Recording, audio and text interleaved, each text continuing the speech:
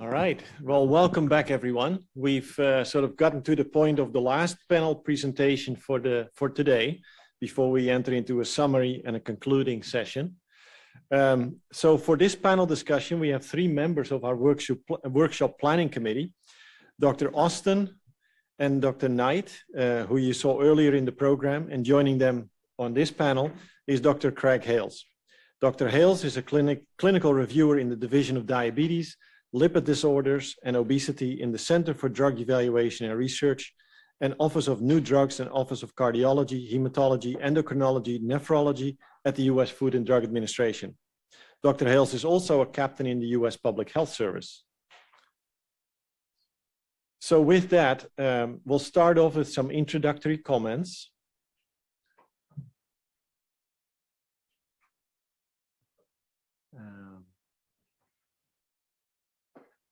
And I think the slides should be up now. Okay. And so um, just to provide some comments before we enter into this session, um, when, when is obesity a diagnosed disease? And based on what metric or measurement should we uh, make that diagnosis? So first of all, a risk factor per se is not a, is, is not a disease. Uh, indeed, obesity-related diseases can also develop in the absence of obesity.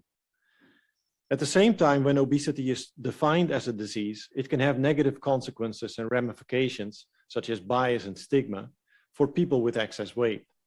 So despite excess weight, some people appear healthy. Some people show no limitations in activities of daily living, and others have no clinical symptoms associated with disease.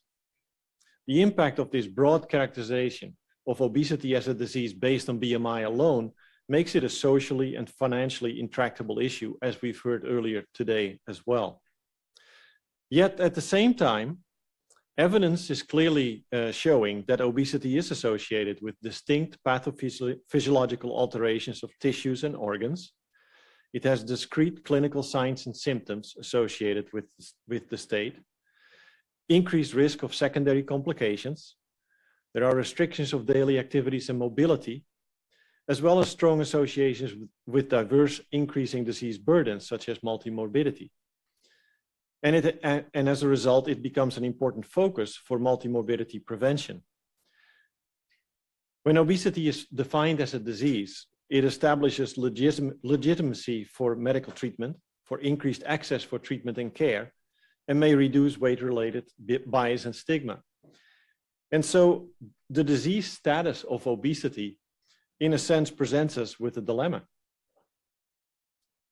Furthermore, when we think about obesity and BMI in the context of moving forward, we, we certainly need more clarity of why to measure in the first place and what measurements to use. Measurement can be used for a variety of purposes. Is the measurement used for improvement or treatment? Is it used for decision making? Is it used for accountability? Is it used for surveillance, basically to generate hypotheses? Or is it used for research to test those hypotheses? In other words, the what, why, how, when, and, to, and whom to measure are important to consider.